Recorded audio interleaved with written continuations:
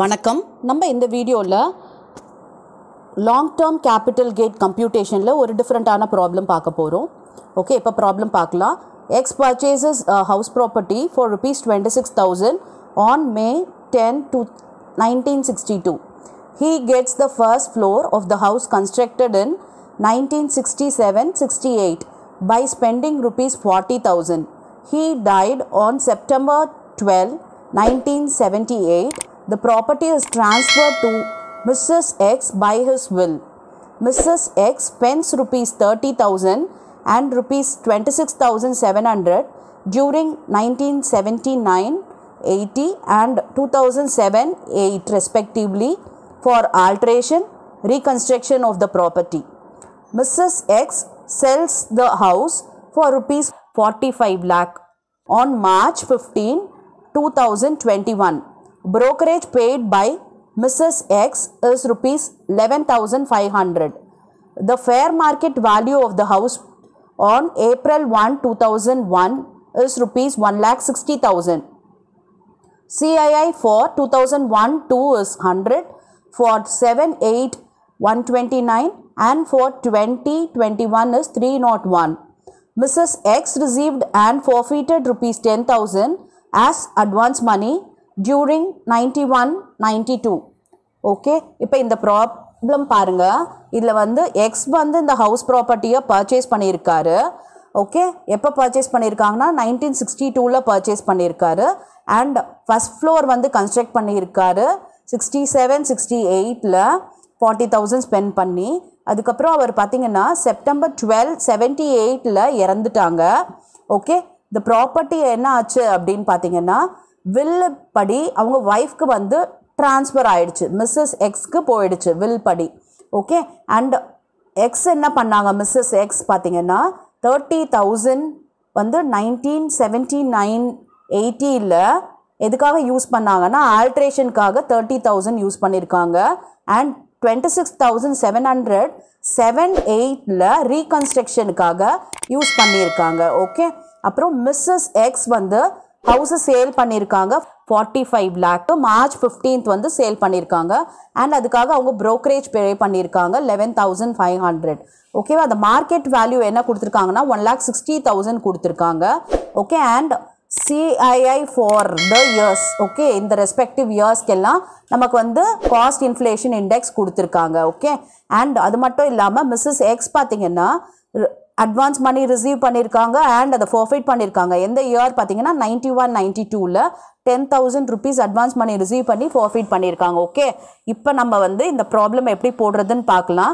Okay இந்த ப்ராப்ளமில் நமக்கு தேவையான இன்ஃபர்மேஷன் என்ன அப்படின்னா சேல் ப்ரைஸ் வேணும். சேல் ப்ரைஸ் பார்த்தீங்கன்னா ஃபார்ட்டி ஃபைவ் லேக்ஸ்டாங்க அண்ட் இதில் ப்ரோக்கரேஜ் இருக்குது ஸோ ப்ரோக்கரேஜை நம்ம சேல் ப்ரைஸோட மைனஸ் பண்ண வேண்டியது இருக்கும். அப்போ தான் நமக்கு நெட் சேல் கன்சிட்ரேஷன் கிடைக்கும். ஓகே அண்ட் நம்ம நெக்ஸ்ட் என்ன பார்க்கணுன்னா cost of purchase or the fair market value which is higher அப்படின்றத பார்க்கணும். ஓகே இப்போ பாருங்கள் ப்ராப்பர்ட்டி பர்ச்சேஸ் பண்ணது டுவெண்ட்டி சிக்ஸ் தௌசண்ட்க்கு தான். ஆனால் அதோட ஃபேர் மார்க்கெட் வேல்யூ பார்த்தீங்கன்னா ஒன் லேக் சிக்ஸ்டி தௌசண்ட் இருக்குது ஏப்ரல் ஒன் டூ தௌசண்ட் ஒனில் ஸோ அப்போ நம்ம இந்த வேல்யூவை தான் கன்சிடர் பண்ண போகிறோம் அண்ட் இது பார்த்தீங்கன்னா நிறைய வாட்டி ரெனோவேஷனுக்கோ இம்ப்ரூவ்மெண்ட்டுக்காக செலவு பண்ணியிருக்காங்க. அதாவது எக்ஸ்மே செலவு பண்ணியிருக்காரு அண்ட் மிக்சஸ் எக்ஸ்மே செலவு பண்ணியிருக்காங்க. ஓகே ஆனால் பார்த்திங்கன்னா நமக்கு இம்ப்ரூவ்மெண்ட் வந்து before one four two thousand one வந்து நமக்கு தேவை கிடையாது. ஓகே அதாவது இந்த எக்ஸ் பண்ணார் இல்லையா? டூ தௌசண்ட் ஒன்னுக்கு முன்னாடி. இதுவும் தேவை இல்லை. அண்ட் நம்ம மிஸ்ஸஸ் எக்ஸ் பண்ணாங்க இல்லையா? இந்த தேர்ட்டி தௌசண்ட் ருபீஸ் ஏன்னா அது செவன்ட்டி நைன் எயிட்டிலேயே பண்ணியிருக்காங்க. ஸோ நமக்கு அதுவும் தேவை கிடையாது. ஓகே அதாவது ஒன் ஃபோர் டூ தௌசண்ட் ஃபோருக்கு அப்புறம் இருக்க இம்ப்ரூவ்மெண்ட் அதாவது இந்த twenty six thousand seven hundred மட்டும்தான் இந்த ரீகன்ஸ்ட்ரக்ஷனுக்காக யூஸ் பண்ணதை நம்ம இம்ப்ரூவ்மெண்ட்டாக கன்சிடர் பண்ண போகிறோம் ஓகேவா அதுக்கு நம்ம இண்டெக்ஸிங் பண்ண போகிறோம் எஸ் இப்போ இந்த ப்ராப்ளம் போடலாம். ஓகே பார்த்தீங்கன்னா இப்போ ஃபஸ்ட்டு நம்ம எழுத வேண்டியது சேல் ப்ரைஸ் எழுதிடலாம். ஃபார்ட்டி ஃபைவ் லேக்கு சேல் பண்ணியிருக்காங்க. ஸோ நம்ம ஃபார்ட்டி ஃபைவ் லேக் எழுதியாச்சு. அண்ட் இந்த செல்லிங்காக நம்ம ப்ரோக்கரேஜ் பே பண்ணியிருக்காங்க Mrs X okay eleven thousand five hundred so நம்ம அதையும் எழுதிக்கலாம். அப்போ லெஸ் பண்ணால் வரது தான் நெட் சேல் கன்சிட்ரேஷன் அதாவது forty four lakh eighty eight thousand five hundred okay இப்போ இதில் வந்து நம்ம இண்டெக்ஸ்டு காஸ்ட் ஆஃப் அக்விசிஷனை மைனஸ் பண்ணணும். அண்ட் இது பர்ச்சேஸோட ப்ரைஸும் அண்ட் நம்ம ஃபேர் மார்க்கெட் வேல்யூ கம்பேர் பண்ணோம் அப்படின்னா நமக்கு ஃபேர் மார்க்கெட் வேல்யூ தான் ஜாஸ்தி இருக்குது பிகாஸ் இது டுவெண்ட்டி சிக்ஸ் தௌசண்ட் தான். அண்ட் ஃபேர் மார்க்கெட் வேல்யூ பாருங்கள் ஒன் லேக் சிக்ஸ்டி தௌசண்ட் பாருங்கள் the fair market value of the house on April one two thousand one is one sixty thousand so நம்ம one lakh sixty thousand தான் எடுத்துக்கணும். And இதில் வந்து நம்ம இந்த அட்வான்ஸ் மணியை சப்ராக்ட் பண்ணுவோமா வேண்டாவா அப்படின்றது பார்த்தோம்னா இந்த இயரை வச்சு டிசைட் பண்ணோம் இல்லையா? அப்போ ஒன் ஃபோர் டூ தௌசண்ட் ஃபோர்டீனுக்கு முன்னாடி இதை மாதிரி அமௌண்ட் அட்வான்ஸ் ரிசீவ் பண்ணியிருந்தாங்க அப்படின்னா நம்ம கன்சிடர் பண்ணணும். ஓகே நம்மளோட ஃபேர் மார்க்கெட் வேல்யூலேருந்து இதை சப்ராக்ட் பண்ணணும்.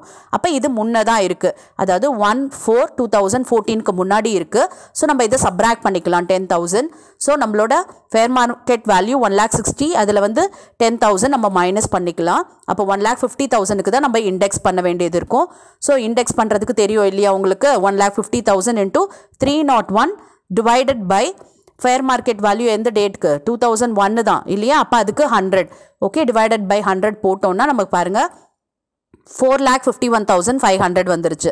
ஓகே அண்ட் இங்கே even though we have many improvements okay அந்த ஹவுஸில் பார்த்தீங்கன்னா ஃபார்ட்டி தௌசண்ட்க்கு ஒரு இம்ப்ரூவ்மெண்ட் அண்ட் தேர்ட்டி தௌசண்ட்க்கு ஒரு இம்ப்ரூவ்மெண்ட் இருந்தாலும் வெறும் நம்ம இந்த twenty six thousand seven hundred மாத்திரம் தான் எடுக்கணும்.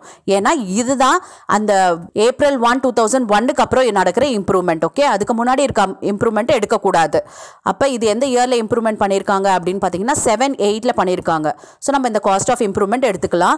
அப்போ twenty six thousand seven hundred into three naught one divided by seven எயிட்டோட index பாருங்கள் seven எயிட்டோட index one twenty nine okay நம்ம அது போட்டோம்னா நமக்கு sixty two thousand three hundred வருது. ஸோ நம்ம இதை மைனஸ் பண்ணோம் அப்படின்னு நம்ம நெட் சேல் கன்சிடரேஷன்லேருந்து நமக்கு பாருங்கள் கேபிட்டல் கெயின் கிடைக்குது. Thirty nine lakh seventy four thousand seven hundred okay இதுதான் கேபிட்டல் கெயின் சரியா? இப்போ நெக்ஸ்ட் இன்னொரு ப்ராப்ளம் பார்க்கலாம். Okay in June one two thousand six Jay receive the gift of a necklace valued at rupees 80000 from her father-in-law who had purchased it in 1978 for rupees 15000 okay அதாவது father in law கிட்டேருந்து இந்த Jay வந்து receive பண்ணியிருக்காங்க கிஃப்டாக okay fair market value of the necklace on one four two thousand one was thirty thousand Okay. Jay sold the necklace in August 1, 2020 for rupees 4 lakh 40,000. Okay.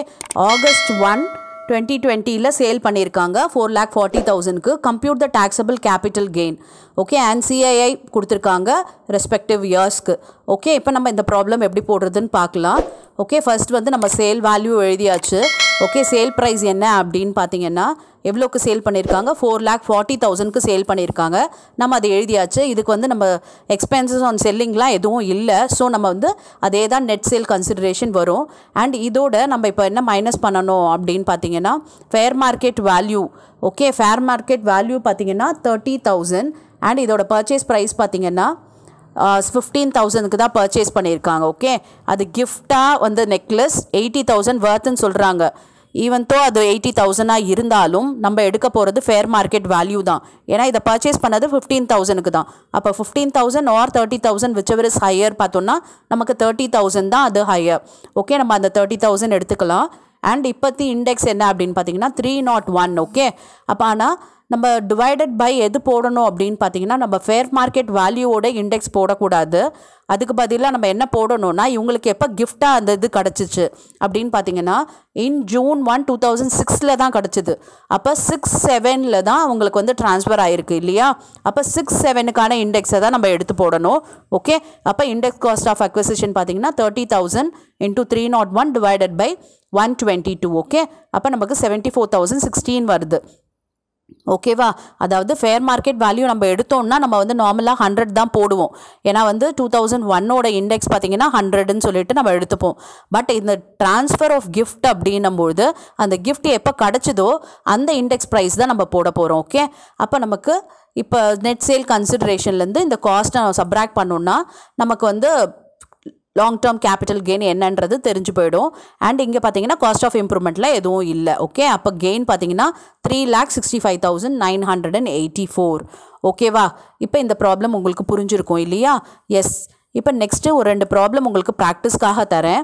Okay compute the capital gain for the assessment year twenty one twenty two from the following date of purchase கொடுத்துட்டாங்க eighty seven and cost of acquisition கொடுத்துருக்காங்க. Fair market value கொடுத்துருக்காங்க.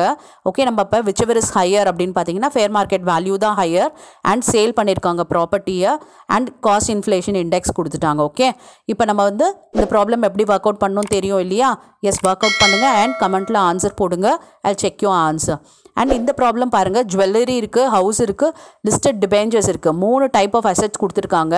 And இது ஒவ்வொன்றுத்துக்கும் பார்த்தீங்கன்னா selling price இருக்குது selling expenses இருக்குது date of purchase இருக்குது cost of purchase இருக்குது அண்ட் ஃபேர் மார்க்கெட் வேல்யூ பார்த்தீங்கன்னா ஜுவல்லரிக்கு இருக்குது ஓகே அண்ட் சிஐஐ பார்த்தீங்கன்னா இந்த ரெஸ்பெக்டிவ் இயர்ஸ்க்கு எல்லாம் கொடுத்துருக்காங்க. இதுக்கு வந்து கேபிட்டல் கெயின் கால்குலேட் பண்ணணும் ஓகே இப்போ இந்த ப்ராப்ளம்லாம் பார்த்தீங்கன்னா உங்களுக்கு ப்ரீவியஸ் இயர் கொஷின் பேப்பரில் கேட்ட ப்ராப்ளம்ஸ் தான். ஸோ நம்ம இதை ஒர்க் அவுட் பண்ணுறது மூலமாக நம்ம அந்த கொஷின் பேப்பரையும் ரிவைஸ் பண்ண மாதிரி இருக்கும். அண்ட் வேறு ஏதாவது ப்ராப்ளம் இந்த கேபிட்டல் கெயினில் உங்களுக்கு டவுட் இருந்தது இது வரைக்கும் நம்ம கவர் பண்ண டாபிக்ஸில் அப்படின்னா அதை கமெண்ட் பண்ணுங்கள் அந்த ப்ராப்ளம் நான் வந்து உங்களுக்காக பண்ணுறேன் எஸ் நெக்ஸ்ட் வீடியோவில் வேறு ஒரு மாடலில் இந்த கேபிட்டல் கெயினில் ப்ராப்ளம் பார்க்கலாம்.